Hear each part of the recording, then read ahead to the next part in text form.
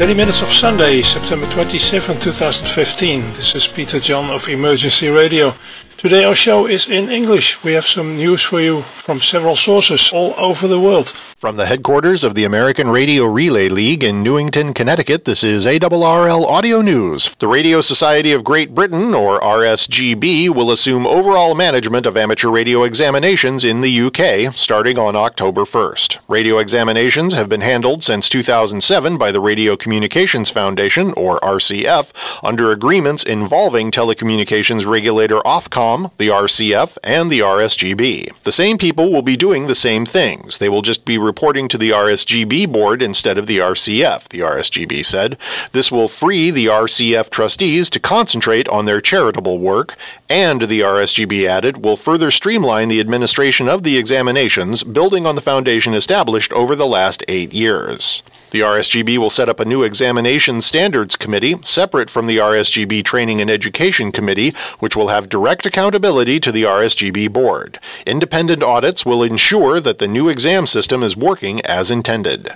Examinations will continue to be available to all, regardless of RSGB membership, and these changes will have minimal impact on the conduct of the examinations at the local level, the RSGB said. The 2015 AMSAT North America Annual Meeting and Space Symposium will be held on the weekend of October 16th through 18th at the Crowne Plaza Hotel in downtown Dayton, Ohio. Currently, the following papers have been proposed APRS satellites, PSK 31, and DTMF voice. A modern approach to secure commanding of an amateur satellite. Nanosatellite, and the Amateur Satellite Ground Station development at the University of the Philippines. SatNOGS, an open satellite ground station network. Fox 1C environmental testing. DSP onboard rideshare to geosynchronous orbit. Fox maximum power point tracker. Preliminary design of Fox 1E. HEO GEO mission. Virginia Tech ground station update. Potentially live demonstrations, Fox 1 camera update, VT ground station control framework, software cognitive radio experiment onboard NASA SCaN JPL SDR, Phase 3E proposed orbit and attitude control changes. Thanks to Dan Schultz, N8 FGV, Symposium Proceedings Editor, for this story. This is Bruce Page, KK5DO, for the ARRL Audio News.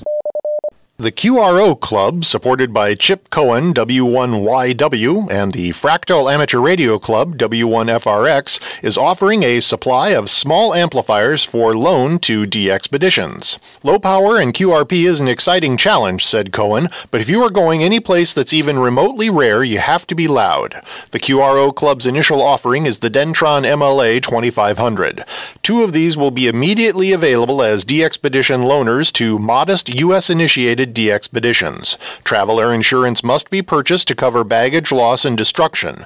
Otherwise, the amps will be free for use, Cohen said. If the amps break during use, the DXpeditions will not be responsible. Murphy happens. If interested, contact Chip Cohen, W1YW, for details. From Australia, this is VK1WIA. Amateur Radio and CB. Spain's National Amateur Radio Society, the URE, has created a 27 MHz CB portal on its website. The URE say they have created the site as a reference to inform those interested in the world of 27 MHz citizens band. Like father, like daughter, Rajesh, Victor Uniform 2, Echo X-Ray Papa, is a proud father in India he and his 15-year-old daughter Sakshi, Victor Uniform 3 Echo X-Ray Papa, were recently honoured by amateur radio on the International Space Station for having received slow scan TV images sent from cosmonauts via amateur radio this past July. The transmissions were sent to commemorate the 40th anniversary of the Apollo-Soyuz mission, the first space partnership between the United States and what was then the Soviet Union. As the amateur radio newsline added to the story, it made for a good reason to feel pride in being a ham as well as the father of a ham.